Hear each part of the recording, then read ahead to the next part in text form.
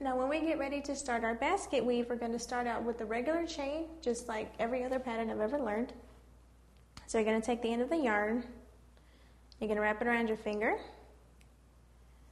and just put that yarn behind there right there, and you're going to get a nice little pretzel shape. Going to take your needle and hook that piece of yarn right there, hold on to your ends, and pull up. And with that, we have our first loop.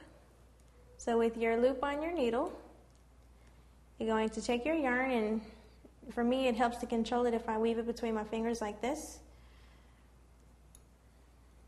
And make sure that your loop is tight around your needle. You're going to wrap yarn around it. And you're just going to use your hook to pull it through. And that's one chain. And we're going to chain two, three, four, five, six, seven, eight, nine. I want this piece to be nine across because the basket weave pattern, or at least in this particular instance, which I find really makes nice squares, is these, these are different groups of three. So whenever you do this pattern, you want your first initial chain to be some sort of multiple of three.